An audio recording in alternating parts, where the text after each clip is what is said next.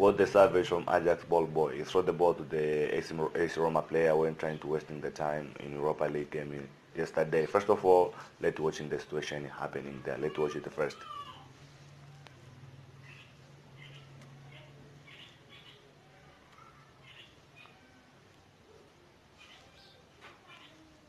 Yes, guys, I hope you watch it. That is what happening in the game of Ajax against the AS Roma yesterday. Because when you saw the video from the beginning, AS Roma player getting the ball from the ball boy from Ajax, and then he kick it out, and then he really added the uh, second ball, and that's why Ajax ball boy getting hungry and they throw it to the face.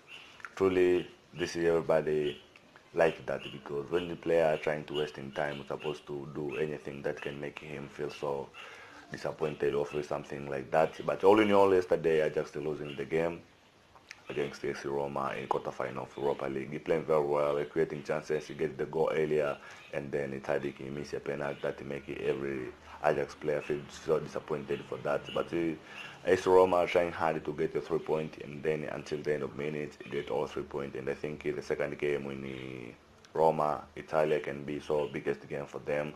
They can defend it, the result, they can defend it, the goals, they can defend anything in order to get all three points and qualify for the semi-final in Europa League. Thanks guys, please subscribe, like, comment and share.